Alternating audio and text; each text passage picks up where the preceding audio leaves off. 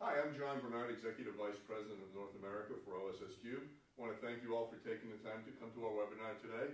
Five ways a technology refresh strategy can lead to a successful digital transformation.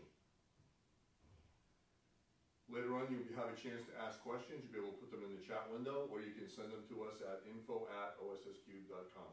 I want to also introduce Dietmar Rietsch. A little later on in the presentation, he'll talk about Pimcore. But first, I want to set the stage and talk a little bit about digital transformation and what it means to you. So what is digital transformation? Digital transformation is the approach by which enterprises drive changes in their business models and ecosystems by leveraging digital competencies. Now, I know that's a real mouthful, but it helps us all understand exactly what we want to talk about today. And digital transformation, is really three main pillars. One is operational process, one is business model, customer experience, and they're all supported by digital competencies. We talk a bit about digital transformation. It allows organizations to rapidly respond to changes in conditions. So think about business, business process, think about things you have to do to enhance productivity and speed, and better communicate or get to your customers. If we move on to the business model, it allows us to expand into new markets. The biggest challenge we all face as marketers is how do we acquire new customers? We all know it takes five times more effort to get a new customer than it does to support an old one. And once we get a customer, our installed base becomes our biggest asset. We really want to grow our total customer value. And then customer experience really sets us apart. If the experience isn't good, the customer's not going to stay with us. You won't have loyalty and clients will be there. So think of yourself shopping and what kind of experiences you like and what makes you come back for more. You want to not only provide that to your clients, but even better than that. And then as we move into digital capabilities, no matter what we do, if we don't have a technology platform that can support our objectives, it's not all going to work. And so what we want to do today is talk about a little bit of what's the status quo and how we can break the status quo and go forward. So let's think of the current situation today. If we think of how important consolidated data is in our day-to-day -day lives, it's amazing. If you're, as a shopper yourself, realize that 73% of consumers say product information is the most important part of their shopping experience. I know personally, if I'm looking for something online and I can't find it, I move on to something else. Or if my shopping cart is complex and hard to fill, I don't empty it uh, and I leave it there.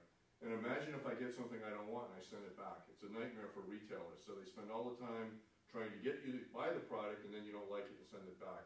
So having the data in the right place and having the right digital experience is really key to making this all go get a lot smaller so you can be more profitable and help grow your customer base. Let's, let's hear what Gartner has to say. Gartner is a leading analyst in the industry, and what they're basically telling us is you have to invest in many different products. So they want you to buy a digital asset management solution, they want you to buy a product information management solution, content management solution, and then integrate them all together. So what you end up with is a bunch of disparate applications that you have to tie together and support, which can be a big challenge. But the key message there is you have to invest, invest, invest, and all this investment you're putting into digital technologies isn't something you're putting into going out and acquiring new customers. Okay, so let's talk about today's status quo. Integrating disparate applications is really the name of the game today. So you have to have four different applications, four separate integrations, your IT department has to support upgrades and trying to keep everything working together. You have multiple user interfaces, so you have certain people that know one thing, certain people know another thing, a lot of extra training, a lot of processes that you have to build to work between the different applications. Can really be a hurt on your productivity. And oh, by the way, when you get look, stand back and look at it, your O&M costs, your IT support costs go way up. Now, is this the kind of status quo that we want to live with, or is there something we can do about this? Here's a couple of victims, or here's a story of a victim of a status quo. We're all familiar with GoGo. If you get on an airplane and you want to get on the internet, you've used GoGo. And their merchandising center application is used to provide the offer that you see when you get on the plane. So like $4.95 for 30 minutes, for example. They were using a third party for the, for the application because when they started their company that was available. Unfortunately, the third party wasn't very flexible or scalable and it turned out to be very, very expensive. So as their business grew, that application was not able to grow with them. The legacy system was not able to support their business objectives. So what they did is they considered actually building a custom app to get around this. Custom app would be very, very expensive, take a long time to build, but they felt kind of trapped in this proprietary hole with this third-party vendor and they didn't really know what to do. Let's take a look at another victim, a Fortune 500 consumer product group company. They grew very quickly through acquisition, but as they grew, they did not tie their websites together, so what they ended up is many brand sites operating independently. They had very poor integration between their product catalog management system and their brand sites, so it required a lot of people and a lot of manual efforts to do simple updates, like updating a privacy policy on every site required many different steps and many different processes, as opposed to one-click publish to all the different brand sites. It also limited their marketing opportunities significantly because the sites weren't tied together. It was really hard to do loyalty programs, upsell and cross-sell. So the status quo was really hurting this consumer products group company. So what are we supposed to do about this? Well, let's break through the status quo. Let's decide we're not gonna take this anymore, and let's try to do something different. So what is that different thing that we wanna do to break this paradigm and disrupt the status quo? We wanna talk about a product called Pimcore. The Pimcore platform is a single platform that combines e-commerce, digital asset management, product information management, and digital asset management, and it's built to easily tie into your ecosystem. Best yet, there's a single user interface for this all four applications. So think of the opportunities for business improvement and productivity improvements by using this single platform. So now I'd like to introduce one of the co-founders and CEO of Pimcore, Dietmar Rietsch to talk about the application and really how it can help you to break this paradigm and move forward. Thanks, John. Thanks for your introduction. My name is Dietmar Rietsch. I'm CEO and co-founder of the Pimcore project, and I'm happy to be here now at the premises of, uh, of OSSCube. And I uh, would like to introduce you a little bit to Pimcore. What is it? Why did we create it? And what are the unique selling propositions? And what can it do? How is it a revolution for in the age of digital transformation? So let's kick it off.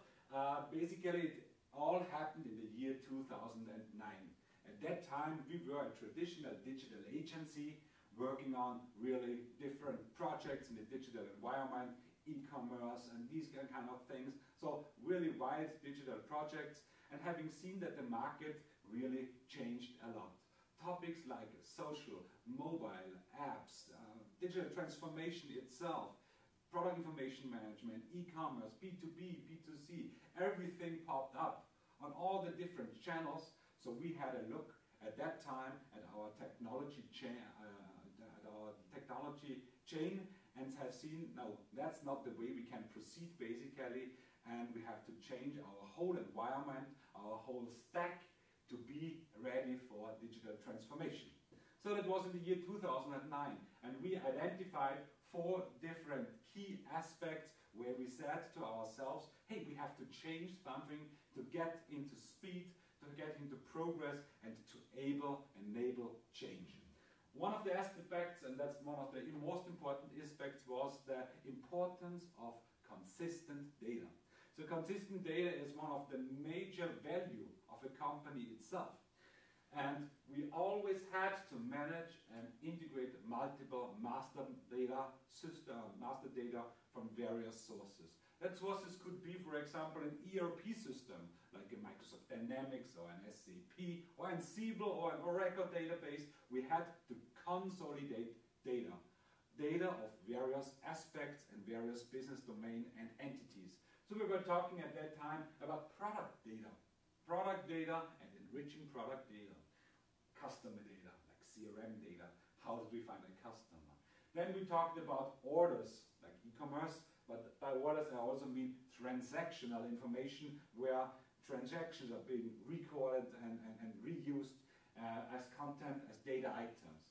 Then we talk about digital assets like PDFs, images, videos, everything that is, has, is a binary file in connection with a product, for example, or, or with content, and traditional web copy. And then last but not least, user-generated content that are provided by the community.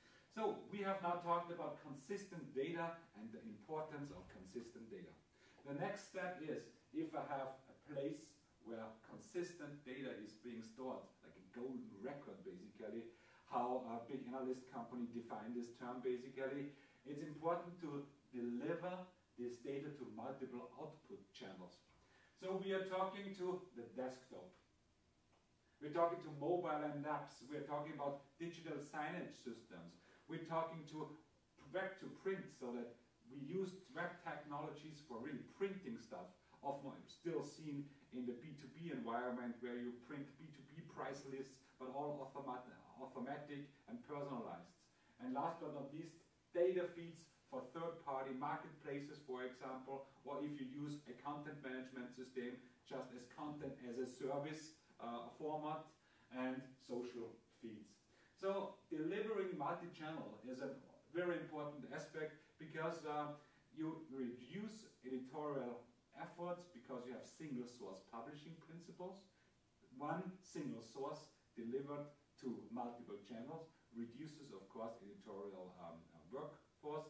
And then you have multi-channel publishing. Okay, let's tackle the next uh, challenge that we have faced, the single user interface. So when I have consistent data in one single system, aggregated, if I have, can deliver this information to many output channels, then of course I would also like to create awesome user experiences for our customers basically because I have the data available. So in this case we talk often about commerce applications, e-commerce, B2B, B2C, content applications, portals, extranet, intranets, uh, community application, and always we always touch also the topics of data integration, mobile, responsive, and these whole topics, and the high usability, so everything goes into the direction raising the rate of conversion. So that's an important aspect here. And last but not least, one of the most important aspects in terms of digital transformation is speed. You have to get speedy, you have to be fast, you have to change your behavior, you have to change how you and you talk to your customer because we are living in a customer-centric environment. Therefore, time to market is essential. We always have to adapt to the market and the consumer needs. And that's done by delivering content fast, adopt fast our processes and our whole environment, and last but not least, we have to integrate. So these were four challenges we were facing still in 2009 basically, and we were looking at that time at our technology stack and faced who? Wow, that's a lot of things that have to be combined. And we looked at our stack and we identified our stack. So what is actually needed for this digital experiences, for this digital uh, transformation processes. And we identified the basic components. There are, of course, far more components, but these are the basic digital marketing transformation components we identified. This is web content management for managing web content, digital content. Then we have product information management for managing product data, enhancing product data, uh, yeah, yeah, relating product data. Then next one is digital asset management. That's the management of all digital assets, PDF documents, images, videos, everything you need to put on a website or to, on a digital project. And last but not least, if you do uh, a transactional website, you need something like an e-commerce component, even if it's a shop software or some other means of you know transactional software. So that's the stack you normally yeah, use.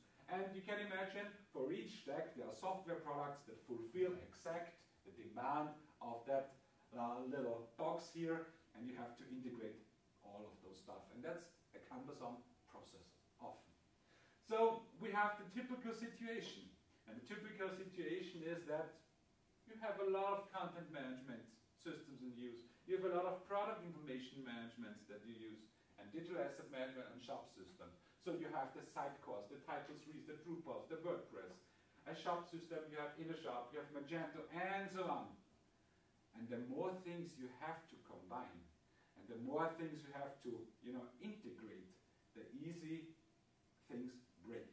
The more, more heterogeneous the IT structure is, the more easy mistakes can happen, basically.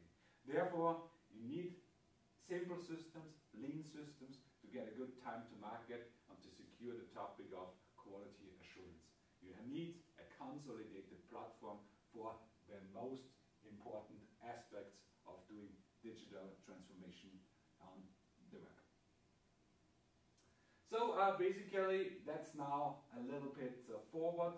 Um, we looked at our stack still in 2009, basically, looked at our stack and said, we, we have so many components in our stack. We have ERP systems, CRM systems, and then the whole digital stack we have seen before, we are not that fast anymore.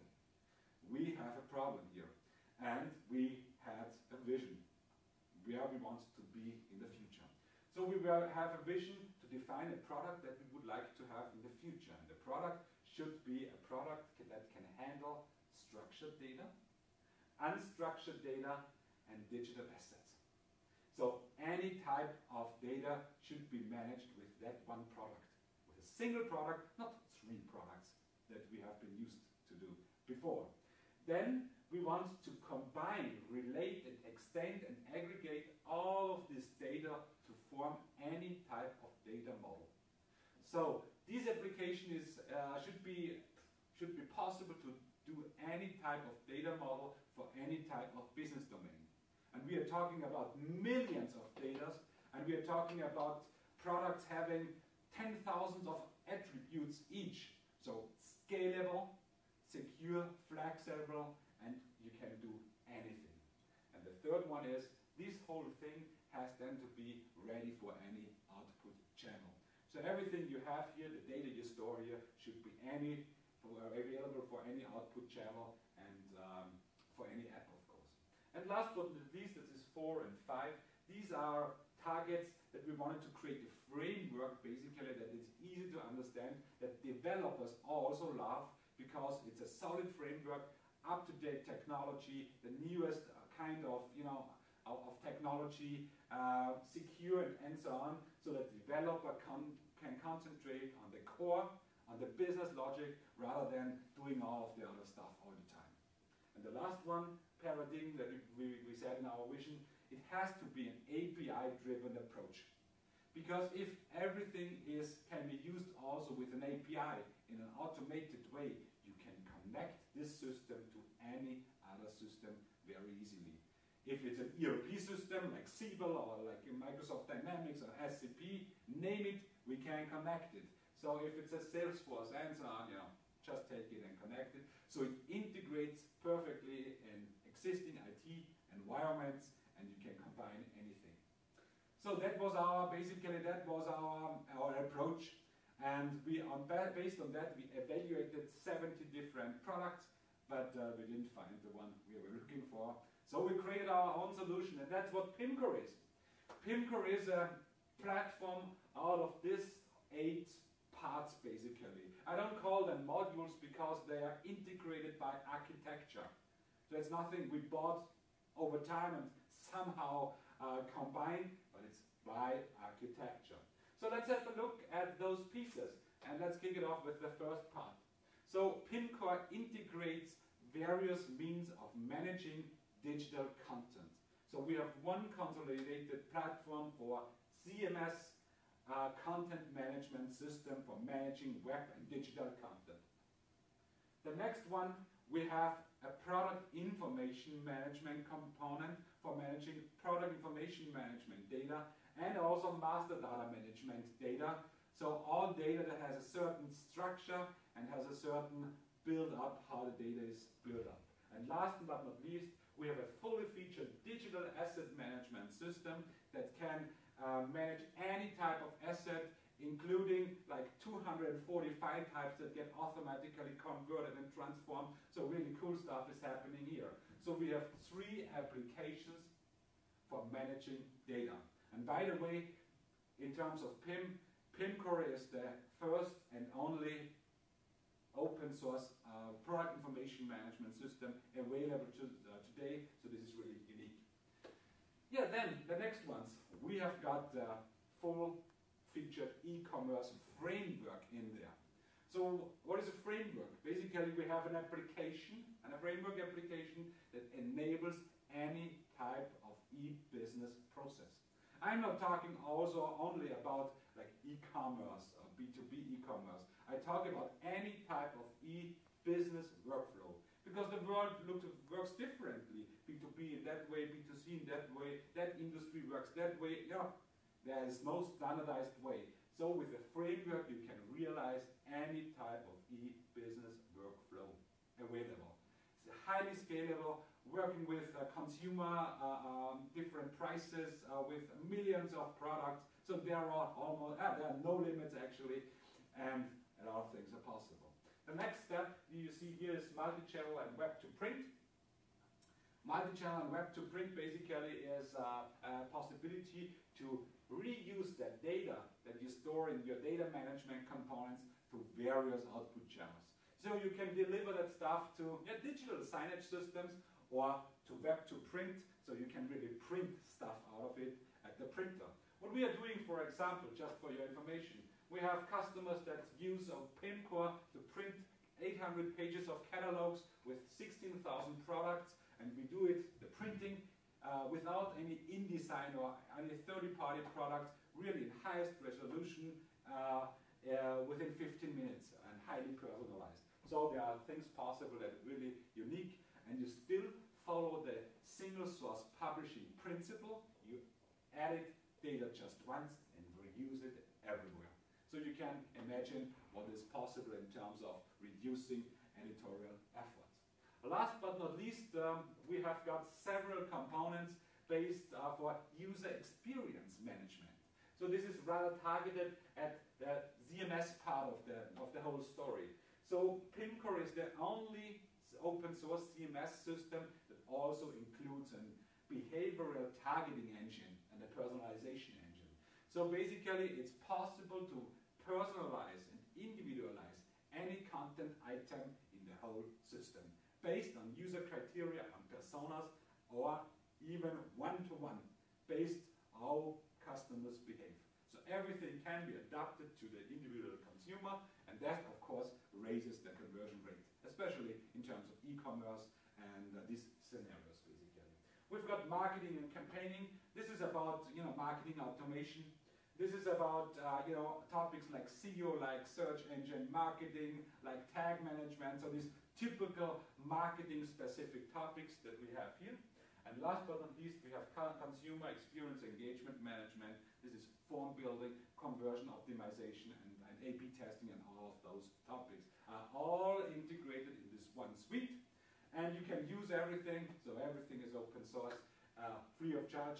And uh, yeah, give it a try. It's an awesome application. But let's uh, continue with a little insight. So Pimcore is used all over the world uh, for you know, enabling digital transformation processes. So Pimcore is used at about, so that's the current rate we know of, 80,000 times around the world. We have got about 20,000, uh, 20 languages where it's, um, uh, it's available in 20 languages, 80,000 installations about, and uh, so that's a normal use case we get. So if you look at this chart, and hopefully uh, it's, it's readable well, this is a company structure. So from from production or buying department to product management department, sales department, marketing department, and IT department. So when people come to us, they mostly come from the product management, sales, or marketing side.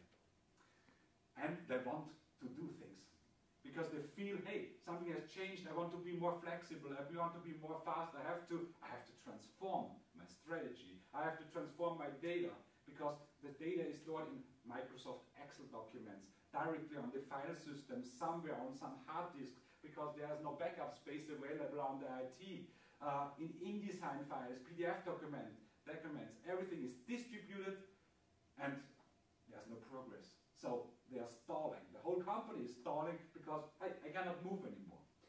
So our strategy, or the, strategy, the basic strategy of Pimcore is to have a Pimcore installation at the center of the company that is tightly connected with a two-way interface with the, with the existing um, ERP and commercial systems. So we do not want to replace any internal system that are existing, but we want to be we are a natural extension for that systems for those people, product managers, sales department, marketing department, to enable digital transformation for these guys basically. Because commercial data is, you know, EP, SAP is for commercial data, it's for price lists, it's for base information, but it's not for translation, videos, you know, all those rich information nowadays having to be used on the web. So we connect basically Pimcore to these leading systems, ERPs, CRM systems, BI systems, via a two-way interface, and then the existing data can be enriched modified to the exact needs of the end customer basically. So the product manager now can do data quality management. He can do product information management, that he adds new attributes for different product groups and these kind of things. He can do channel management, digital asset management, analytics and tagging, and that one in one consolidated platform with a single interface. But let's have a look uh, and continue with the sales department. So when the sales department, uh, when the product management, uh, product manager has done a good job and everything is beautiful in here, good data is stored, everything is consolidated basically, the sales department can work with this data by providing applications for user, high user experience applications, like B2C e-commerce application, B2B applications, product finders, configurators, multi-channel retail applications, um, web to print, and so on. So various applications are really, uh, uh and also sales applications for the consumer. And last but not least, the marketing department also can use this data for creating websites, newsletters, uh, user experience, usability, uh, in all of these topics, the digital topics that are uh, that marketing departments and marketing people are dealing. And um, this is yeah, marketing automation, conversion optimization. So everything is in there and have a last, now, now let's have a last look at the IT. The IT also has to be happy, for sure. They have to want to be happy because they are not uh, anymore harassed by those guys on the right side because they always want to do things.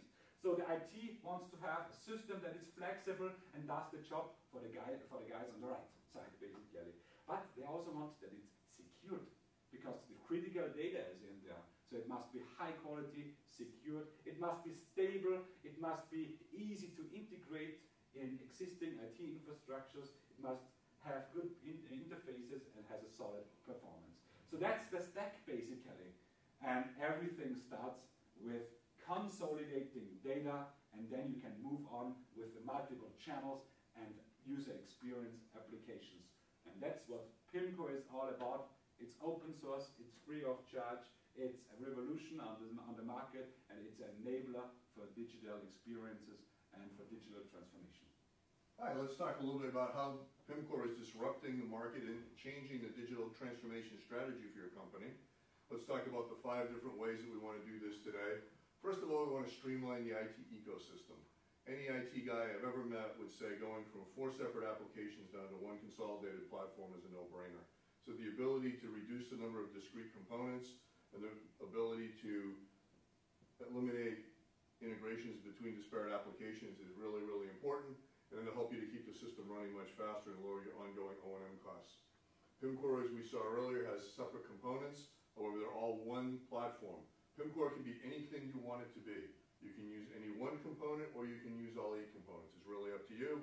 But the good news is if you start with one component, it's extensible and allows you to grow and scale as your organization grows and scales. Number two is business process reengineering. It's amazing how when you have multiple user interfaces and disparate applications, the processes that you have to build to make everything work within your company. Sometimes I even hear of SneakerNet these days where people actually take CSV files or actually bring a disk over now. And we thought those days were all long gone. However, it really hasn't evolved that way. People are still sticking with older applications. They're used to doing things. If it works, don't fix it. Problem is, as the market evolves and moves forward, you have to become more productive and more efficient if you're going to be able to keep up with your competition. The single user interface allows you to significantly streamline your processes, allows you to re-engineer your business, the way you do your business, and lets you increase that productivity significantly and reduce your costs. It also allows you to be more responsive to your clients and more responsive to your competitors. Now, the third is unifying the data. I think we've given enough examples now of unified data and how effective that can be, or if it's not unified, what the impact can be to your business. Unifying the data within Pimcore will help you to really be able to take that data, use it, actionable, and, and get your value out of the data. We all know everybody has data, we all know it's very valuable, but it does you no good if you can't extract that value from the data. When we consolidate the platform, we can cloud base it, we can premise base it, it's very, very flexible. We can generate common views for clients, and we can enable more multi-channel interactions. People don't do business one way anymore, they do business multiple ways. And if you have the, the opportunity of an integrated platform versus a, a consolidated platform, which would you prefer, right? I think anybody I've ever met would wanna go with a single consolidated platform rather than try to put all these components together and juggle them and make sure they all worked together. We talk about our fourth way, it's really how do you enhance your business, right? And what does it do for you?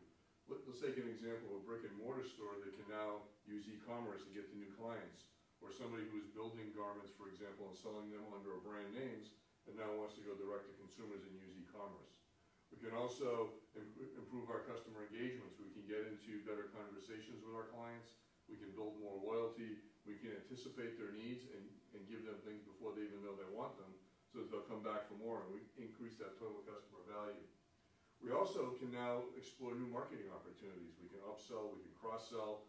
Based on knowing the behavior, we can cluster groups and, and market to groups and geographies and really be more fine-tuned in how we sell to our clients and be more effective. And finally, we can be much more agile. One of the things that we see a lot is clients have legacy systems and competitors just leapfrog them and run right by them. Pimcore gives you that flexibility to be very, very responsive and agile and keep up with ever-changing market needs. And finally, what you want to do is be able to put the business and marketing together. DevMark is we want to call it going forward, but basically what we want to be able to do is build that integration with the business so that as we use agile development and faster market processes, both IT and the business are aligned so that we can continue to move forward together and with the same goals and, and objectives. So let's revisit a couple of the companies that we talked about earlier and see how using Pimcore has helped them in their digital transformation. For example, GoGo did not have to build a custom app. They were able to get to market a whole lot faster for a whole lot less expensive. They now have the required flexibility and scalability they need to grow their business. They own the IP because Pimcore is open source. This is a huge competitive advantage for them. So anything they develop, they own and they can continue to use as a competitive differentiator. And finally, they have the technology platform they need to support their growing business. They're now international. They want to move into merchandising and other lines of business, and this platform will scale with them and help them to grow. Let's also look at the Consumer Products Good Company. They now have their PCM modernized in the same platform as all brand sites. So now instead of having a whole bunch of disparate applications, they're all together on one consolidated platform. What this has given them is a single user interface now that can be used to drag and drop and publish dynamically to any one of the sites. So for example, if they want to update their user privacy policy, it's as simple as a drag, a click, and it publishes dynamically to all the brand sites. It eliminated a lot of manual effort, a lot of processes, they've become much more productive and much more nimble. They've lowered their IT costs, their O&M costs, so that now it costs a lot less to maintain the system, but more importantly, it's opened the door for a whole new marketing strategy now. So launching new loyalty programs, upsell, cross-sell, using multiple brands and sort of packaging and bundling. So the platform has allowed them to not only be more nimble and reduce costs, allow them to reach out to their clients and be much more effective in how they market to them. So what's in it for you? You've come and listened to this webinar and we we do appreciate that. Some of the business benefits that you will enjoy by using this disruptive technology called Pimcore You'll be able to boost sales, improve your customer relationship, build loyalty. You'll be able to improve your productivity and, and reduce your internal costs. And in terms of IT, they're going to love you because now they don't have to deal with a whole bunch of different disparate applications. One consolidated platform with a single user interface. How much easier can that be? So what we'd like to do now is thank you for your time. If there's any questions, you can submit them as you see here, and we'll make this slideshow available for you online as well. So thank you for your time. Thank you, Dietmar, for your, your presentation, and we hope that you will work with us and enjoy Pimcore like we are.